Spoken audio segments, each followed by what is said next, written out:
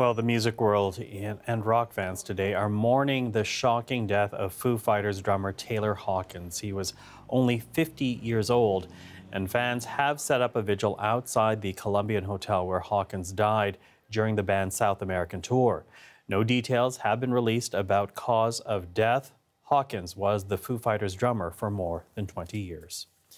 Well, for more, let's reach out right now to Natalie Kalata as she's been looking into this story for us today. So, Natalie, eh, what is the latest information we have? Michael, we know he died during the band's South American tour. The band were scheduled to play in Bogota, Colombia on Friday. We have no immediate details as of yet on how he died, but this was the scene outside the hotel. You can see people holding up a sheet next to a forensic vehicle. The Foo Fighter drummer was, as you said, Michael, just 50 years old.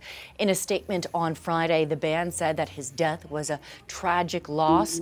They took to Twitter saying his musical spirit and infectious laughter will live on with all of us forever. Our hearts go out to his wife, children, and family. Now, Hawkins' final concert was last Sunday at a festival in Argentina.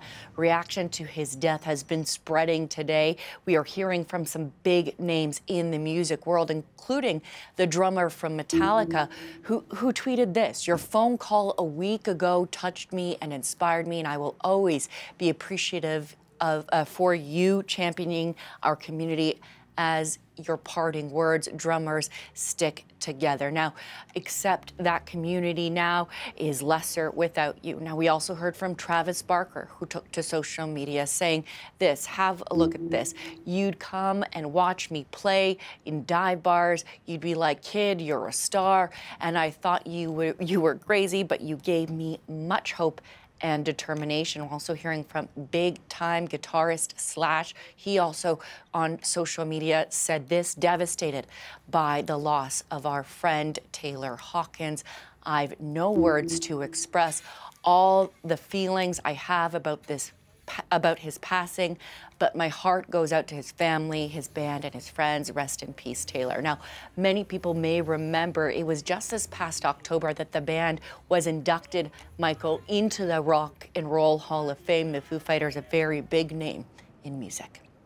Now, of course, Taylor Hawkins also had many Canadian fans, in part because of Canadian connections. Talk to us about that. Well, Michael, earlier in his career, Hawkins drummed for Canadians like Alanis Morissette, Sass Jordan. He was very visible in most of Alanis's videos from the album Jagged Little Pill. He was born in Texas in Fort Worth in 1972, raised in California in Laguna Beach there, and played for a band called Sylvia before landing his first major gig as the drummer for Canadian singer Sass Jordan. Now, he, in fact, met uh, the Foo Fighters frontman backstage at a show when he was still with uh, Morissette. He joined the Foo Fighters then in 97.